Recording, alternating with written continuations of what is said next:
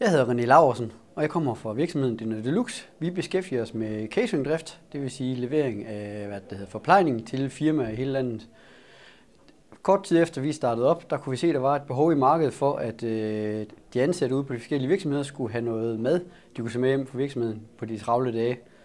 Og derfor lavede vi et koncept, som hedder NAM, nemaftensmad.dk, og der fik vi øh, støtte fra Food Innovation øh, til at udvikle det og har implementeret det, og i dag er det en, øh, en rigtig god idé for os at have, og det er en god salgsmotor til at øh, sælge vores koncepter. Vi er, siden vi har introduceret NAM, øh, blevet væsentligt større, end vi var dengang, og har haft glæden af også at blive øh, gazellevirksomhed nu.